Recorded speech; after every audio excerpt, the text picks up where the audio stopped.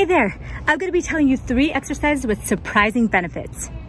Intense exercise for 15 minutes can improve learning and memory. This was seen in a study that came out in Nature uh, Journal just this month, September 2020, talking about how you can do intense bouts of exercise after you've learned a concept. And it shows that that can improve your learning and your memory retention after learning that concept.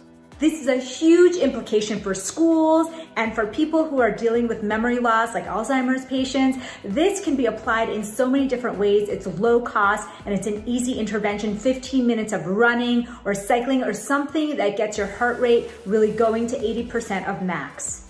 The surprising benefits of a fasted workout have not been talked about enough in my opinion. Fasted workouts are one of the easiest ways to turn on that fuel switch, the magic behind intermittent fasting. This basically means that you usually use glucose for fuel, but now you're using fat for fuel and this back and forth between using glucose and fat turns on evolutionarily conserved processes that improve your mitochondrial biogenesis, that improve your cell stress resilience, that improve longevity and so many other metabolic factors. So how does it work? Say you start your circadian fast at 7 p.m. the night before, the next morning at 7 a.m. you might go out for a nice nature uh, run or walk or yoga and then break your fast at 9 or 10 a.m. Then you get all the benefits of a fasted workout.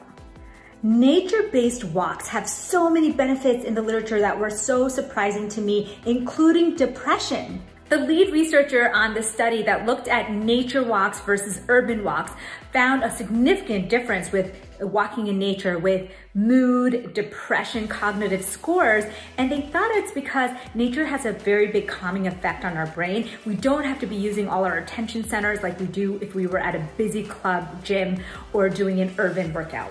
So if you wanted to combine all of these three things, you would be doing an intense nature workout in the morning fasted.